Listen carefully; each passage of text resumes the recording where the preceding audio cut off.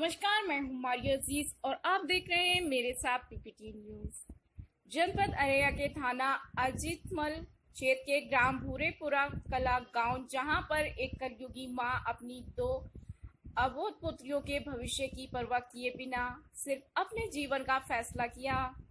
वहीं शिवानी ओम सात वर्ष व बंदगी ओम पाँच वर्ष की माँ राधा देवी, जिनकी उम्र लगभग पैंतीस वर्ष को आशकी का भूत सवार है। वहीं उन्होंने न सिर्फ़ अपने पति से बेवफाई की बल्कि अपनी छोटी छोटी पुत्रियों के भविष्य को भी चौपट होने की परवाह नहीं की।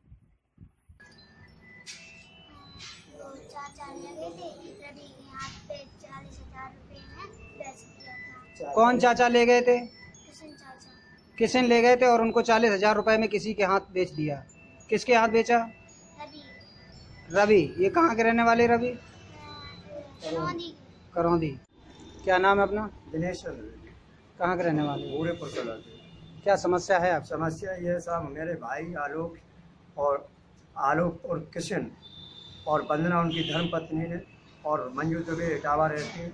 उन्होंने बलगला फसला के मेरी औरत को बच्चों को कहीं लेके गए। इन्होंने पाँच छः दिन दस पाँच अप्रैल से मेरे आज दिन तक का कोई पता नहीं चला साहब क्या हमने ढूंढा छछोई मैंने की और अपनी एप्लीकेशन आईजी साहब को दी हर जगह एसपी साहब को दे के अपनी निवेदन करी कि मेरे बच्चे को पता लगाया साहब पता लगा मेरी बच्ची एक अरेस्ट भाई तो उसने बताया कि मेरी घरवाली को बेचा गया है किशन बंदना में आपकी घरवाली को बेच दिया गया किसके हाथ बेचा गया है? रवि की रवि करौंदी का है यादव।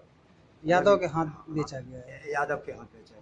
इसलिए कि ये मेरे बहन के साथ में अत्याचार कर रहे हैं प्लाट पे दुबे जी मैं जानना चाहूँगा ऐसा मामला क्यों सामने आ रहा है कि आपकी जो पत्नी है वो आपके साथ क्यों नहीं रहना मेरे साथ में बहुत कुछ अन्याय भड़काया गया है मेरी औरत को बुरी तरह भड़का रही है। एक छः महीने हो गए मैं घर में आ आके भूखे प्यासे चला जाता हूँ। औरत वंदना और किशन के और रमेश की कहने पे चल रही है अब। और इन्हीं ने मेरी शादी कराई है इसी प्लाट के पीछे मेरी घर की बर्बादी है। जो कह रहे हैं कि जमीनी विवाद को लेकर के आपको तबाह किया जा रहा है जमीनी विवाद।